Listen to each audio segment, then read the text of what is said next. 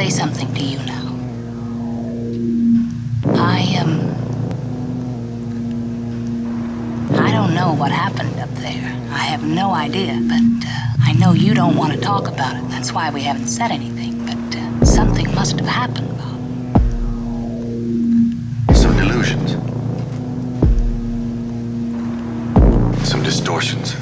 Yet it all seems to be part of some sort of crazy pattern.